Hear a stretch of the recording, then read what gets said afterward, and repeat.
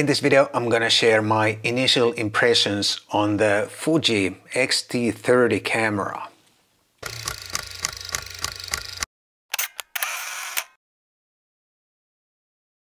Hi guys, my name is Matti Sulanto and I'm a photographer and in this video I'm gonna talk about this Fuji X-T30 that I bought for myself not so long ago.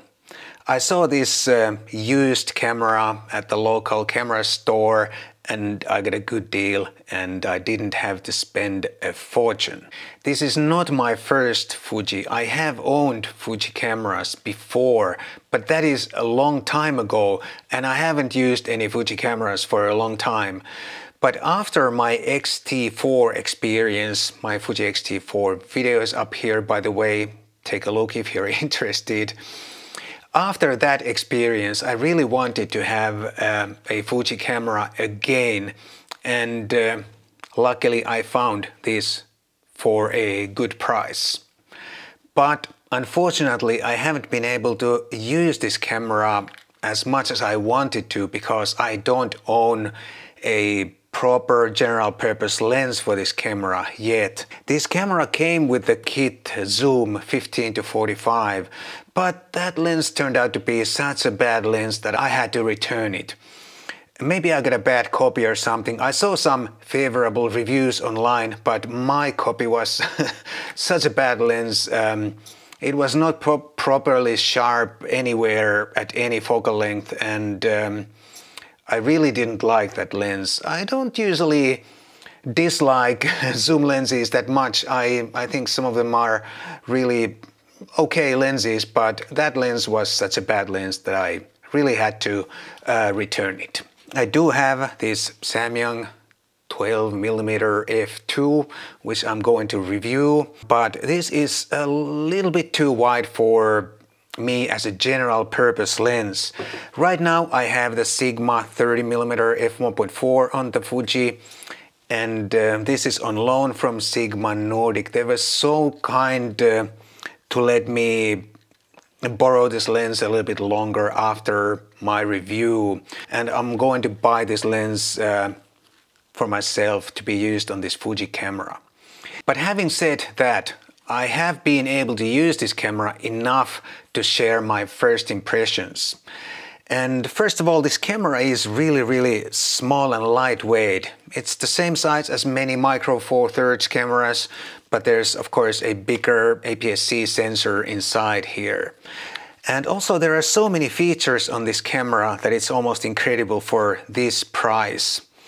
Of course this X-T30 is not uh, available anymore I think so as new or there might be, you may be able to find it new, but I think uh, it's been replaced by the Mark II version. But the Mark II only has a different uh, screen or something, but I think the basic camera is still the same. But it has incredible amount of features and the video features are really, really great. And this camera has totally separate settings for video and uh, photo, which is really important. And I think it's unique in this uh, price range or this for this price. There are so many more expensive cameras like my Sony a7C that I'm using to film this. It doesn't have separate settings for video and photo and it's a little bit of a, a mess when you switch between photo and video. You have to remember to switch many settings and um, it it's easy to forget to change some of the settings and then you may you know uh, ruin some of your photos or videos. But this tiny little Fuji when you turn uh, on the video mode you have all your video settings. And when you turn back the photo mode you have all your photo settings. And uh, I think it's really really great. The only major downside feature-wise is the lack of IBIS. I also like the ergonomics um, mostly. The Fuji trademark retro dials, they look and feel really good and you can see your shutter speed and uh, most of the settings without turning on the camera. The only thing that I don't like is the quick menu button which is here on the thumb rest. The thumb rest itself is great but the, it's way too easy to accidentally hit the Q button and it's really sometimes annoying when you start to take a picture and all you can see is the quick menu. And also I don't like these command dials because they have double function. You can press them for a, a secondary function, but the press function makes them feel spongy and not uh, really uh, like a high quality at all. Not a big deal, but um, I just don't like them very much. Also, there's no uh, dial here on the back, there's only a joystick and that I like. You can use the joystick to move the autofocus point and navigate the menus. And even though the joystick is really, really small, it's still very uh, pleasurable, pleasant to use, and it has a very nice uh, tactile feel to it. The viewfinder is not the best, but it's good enough, especially for this price. The back screen is also good enough for this price. The screen only goes like this up and down. It's not fully articulated flippy screen. For photography, this design is is really good. I like it. But because this camera has so good video features and so many video features, I would sometimes like to use this to film myself and I would really like to have a, fully articulated um, flippy screen on this camera for that so I could see myself when I'm filming myself. Let me also remind you of the workshop that I'm organizing with my friend Peter Forsgaard here in Helsinki in August 2022. We still have some open spots there. Please check out the link down below. It's gonna be one week of photography goodness and by the end of the workshop you're gonna be a better photographer and a better storyteller. Check out the link. It would be so nice to see you here in Helsinki in August 2022.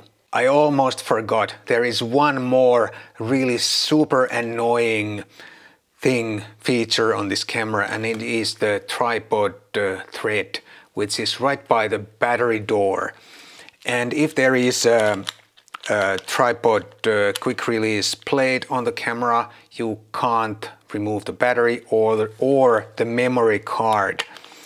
And it's the same thing, of course, if the camera is on the tripod. So um, I really have to get a customized, uh, some sort of customized uh, uh, quick release plate or something for the camera because it is really super, super annoying uh, to remove the quick release plate every time I need to replace the card or the battery. So that is a big, big mistake. I wonder why they couldn't uh, put the thread somewhere else. The autofocus is really super good. I was really surprised how good it is. It works really well for video and it's awesome for photography. For video it's not quite as good as uh, Sony autofocus but it's really really very good still.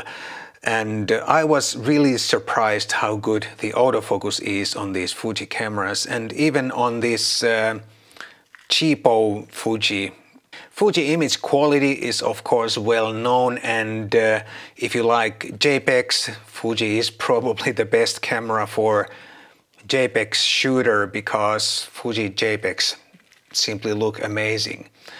The sensor is the same 26 megapixel sensor as on every current Fuji camera and I really like the results I get from this camera. The only downside is, like I said before, uh, the lack of IBIS. For me, it's not a deal breaker, but it's a downside. But when I bought this camera, I really didn't know what I was buying. I thought I'm going to get uh, some sort of uh, like a beginner's model, but this camera is fully loaded with uh, all kinds of features that you can usually find uh, on more expensive cameras. And uh, based on my experience so far with the Fuji X-T30 I can really from the bottom of my heart I can recommend this camera for anyone looking for their maybe their first system camera or someone who wants to transfer from DSLR to mirrorless.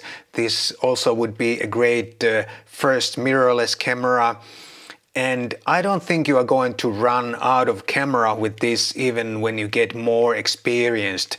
This has so many features and uh, such a great image quality and everything that is going to serve you a long time. And I'm really, really happy that I bought this camera, um, even though I thought I was going to buy just a, an affordable beginner's camera, but it, it turns out this is so much more. I hope you enjoyed this uh, first impressions video and if you enjoyed please consider buying me a cup of coffee too there's a link down below but only if you don't live in Finland. Thank you so much. I'll see you in the next video.